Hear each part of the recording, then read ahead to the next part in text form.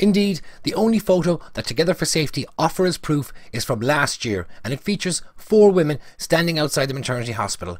One of the women has a Love Both umbrella and three of the women look like they are engaging with or talking to the woman whose face is blurred out. Well, it all seemed a little suspect to me, so I decided to conduct my own fringe investigation to see if I could catch these abusive protesters in the act. You know, to see if I could actually produce that missing evidence. I began my surveillance of the maternity hospital early on Wednesday morning, and between the hours of 9 and 10, I noticed what Together for Safety might call some highly suspicious activity. The two suspects were making their way towards the hospital entrance, and one of them was brandishing what Labour's Ivana Bacik and Sinn Féin's Martin Gavin might call a deadly weapon, no doubt swinging around to try and intimidate the pregnant people as they tried to make their way to the hospital. Should I call the guards, or should I get in touch with Together for Safety? I didn't know what to do. I was so paralysed of fear. I just stood there and watched. Oh no! I think they're going to attack that woman! Whew, she got away.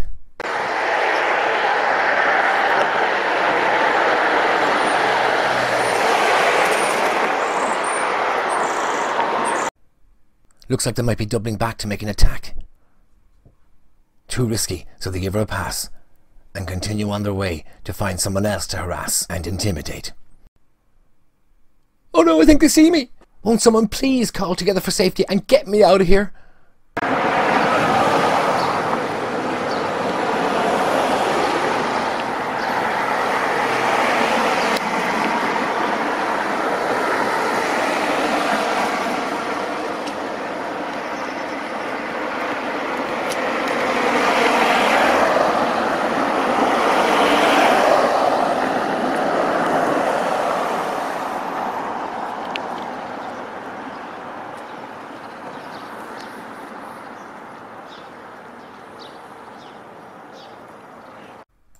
As they made their way around the corner and away from me, I breathed a sigh of relief.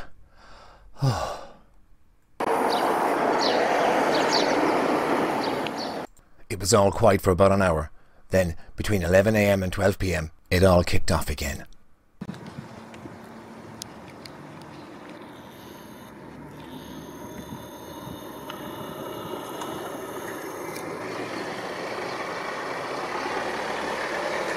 Just look at these two shady characters, both in disguise, trying to hide their identity, and brandishing the same weapons.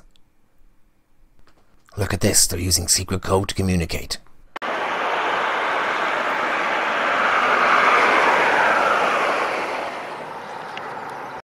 Having witnessed the morning's carnage, I knew what to expect. Was this one of the pregnant people? Are they going to attack her? No, she had a lucky escape. Just like the previous protesters, they doubled back and scanned the area looking for pregnant people to harass and intimidate.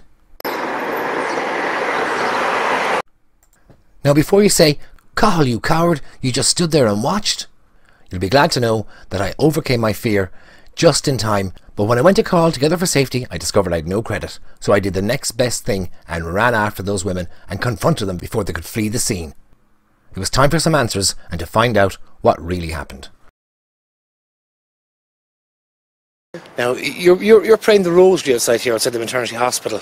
Yes. Is this a protest? Absolutely not. Um, Misha and I come um, every week on a Wednesday, as it turned out now. But we come here in solidarity with the unborn who are being, whose lives have been taken, you know. So that's what we come and we we just pray the rosary and um, just for intercession for those who are being killed.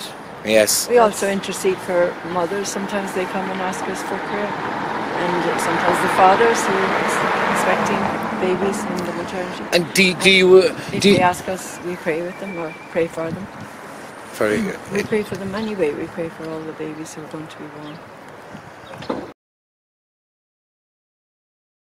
And do you ask, uh, did you approach people as you're going around with the oh, rosary never. when you're no, praying? Do you approach don't. people? And or? actually, as people pass us, we tend to quieten. I mean, we're not in any way shouting out prayers or anything, but we believe in prayer. Um, and for that reason, we just walk around the hospital, you know, in solidarity. But sometimes people have seen us and. Um, I don't know. I think it's happened more to you than to me, even. Yeah, well, I've seen uh, like some people upset, a young couple upset and really crying bitterly, and we just asked them could we do anything or help, and we like a prayer, and they said yes, they would. And, you know, they're worrying about their baby, that maybe there's some problem or something in the pregnancy or whatever, and they're always so happy that we pray for them or with them.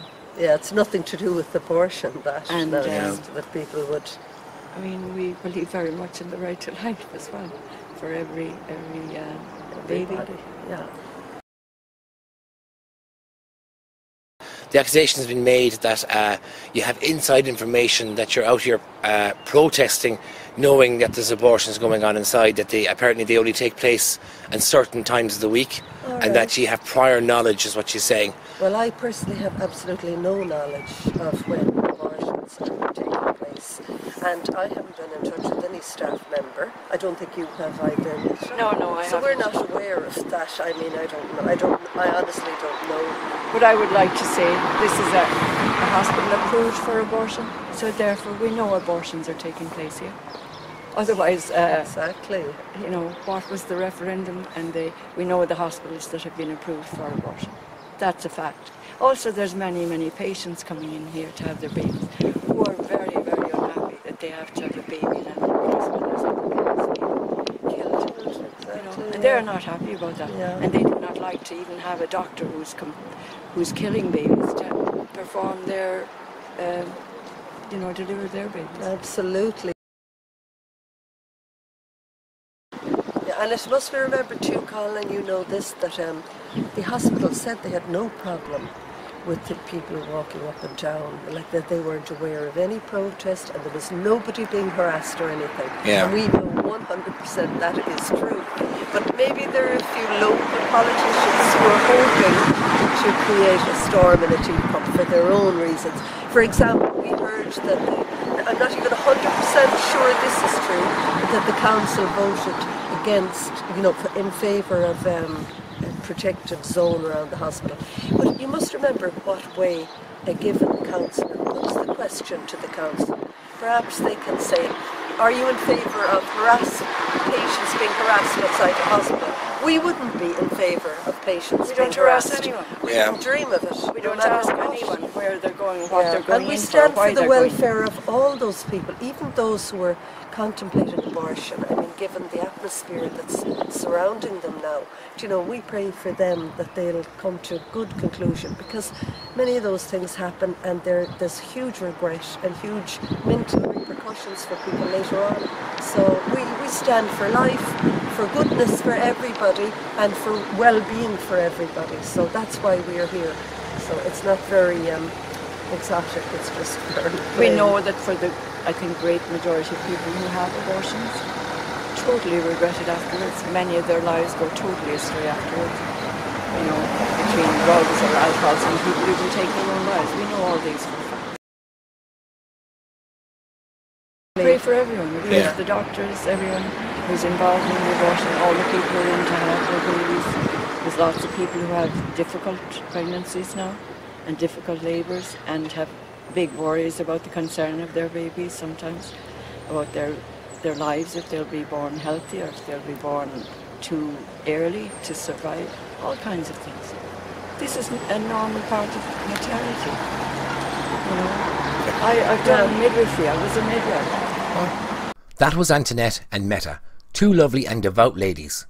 It really is impossible to imagine how anyone in their right mind could claim to be frightened and intimidated by them as they quietly prayed the rosary while walking around the perimeter of the maternity hospital. I also spoke with Olive and Deirdre. Olive is the woman whose face was blotted out in Together for Safety's one and only photo of what the rabidly pro abortion group like to call a protest. The photo was taken as all four women were about to start their prayers around the hospital perimeter. The two women wearing the Lady of Guadalupe jackets are nuns from the Philippines that were visiting Limerick last summer. Olive and Deirdre, you've both seen the statements made by Together for Safety, uh, claiming that you're protesters protesting outside the maternity hospital, that you have inside information that uh, women are having abortions when the abortions are taking place, and that you're out here to harass them as they go into the building. Um, have you are you make, are you protesting? What exactly are you doing now, here? First and foremost, we most certainly are not protesting.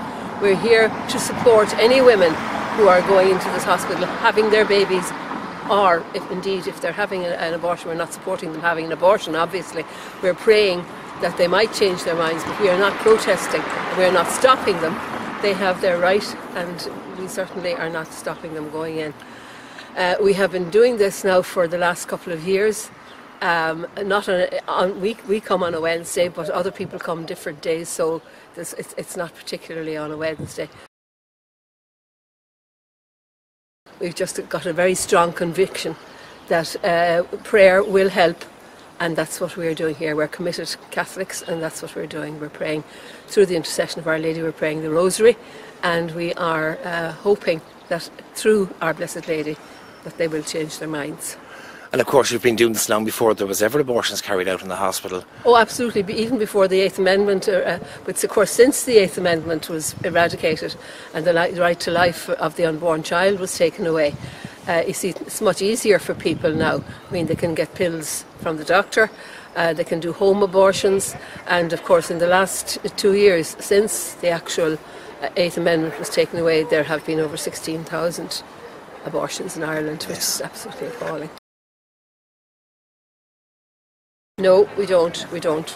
Um, we, we just we just pray quietly. We're not silent, but we're, we're quiet, uh, and we are not we're not hiding the fact that we're praying, but uh, we are, you know, uh, not certainly uh, uh, approaching anybody. Okay. Deirdre. Yeah, and uh, you know, just there as Olive was saying, like even sometimes Cathal people will actually stop and say to you know and say good and you know they're very affirmative towards us in what we're doing and it's certainly not offensive to anybody we're certainly not judging anybody all we're interested in is the welfare and the well-being of every woman who comes through these uh, these gates And of course, you yourself worked as a, a midwife, is that yes, right? and I actually worked here as well. I worked here in this hospital for five years. When you know, when there was long before uh, um, this new situation ever arrived here, and our whole training and our mindset was all to protect life and to do the best you could for every mother and every baby, and that's all. You know, that's all we want. We, we are not we're not here to judge anybody or to condemn anybody. We're not here for any of that. We don't say anything to the people going in. We, we're not in your face doing anything. We're quietly praying. We go around the hospital and quietly pray. But sometimes if people, uh, you know, might come up to us and as I say, they're very supportive and you know we say things and we have had nobody to say you shouldn't be here because what we're doing we're basically walking around we're not stopping anybody so um, that is uh, false you know what was being said is definitely it is absolutely false It's outright not lies. correct. It's outright out- lies. it is Outright It is. lies. And- Yes, and- people sometimes uh, ask us, would we pray for the, the women inside, or a particular my, a mother might come and say, would, would you pray for my daughter? She's having her baby today. You know that sort of thing, a, a very supportive thing like that. Yeah. So that's just a, a little extra aside. So listen, thanks very much for talking to me. That's that's uh, kind of shows that there's no protest. You're not protesters like like Together for Safety portrayed you in your Twitter in their Twitter feed and their and in their press statement where they actually used stock footage of another protest trying to claim it was going on outside the hospital. This is the level of the lies that they're getting into. Um, Councillor Elisa O'Donovan, of course, and Councillor Conor Sheehan, and the council, of course, have been backing safety zones based on those lies. Well, you do know that the management of the hospital here have actually come out and said that they had no complaints of any description of harassment of anybody coming. I mean, they actually came out and said that publicly in the paper. So they are saying that. Oh, they're saying that, but of course the, the, the Limerick Post put it on the front page there before Christmas, saying that the, the hospital had, had refused to respond. Well, that's not true. That's not true. That's Yeah. not true. Yeah. So look at um, uh, you know it's nice to talk to you, Cathal, and we appreciate that you're taking the time to do this uh, in the interests of, of, of unborn babies and their mothers. And thanks very much. Not at all. and Thank you for talking to me. Okay. You're Okay. welcome, Go to. Margaret. Haber. Okay. Slán. So there you have it. There was absolutely no intimidation and no harassment of women going on outside the maternity hospital in Limerick. Just kind and gentle ladies quietly praying the Holy Rosary for the well being of mothers and their babies. And for the doctors, midwives, and staff members as well. The accusations and claims of Together for Safety are nothing more than outright lies. That was a clip from my forthcoming video, Together for Lies, which will premiere this weekend. So be sure to subscribe and hit the bell for notifications. You won't want to miss it. Until then, be seeing you.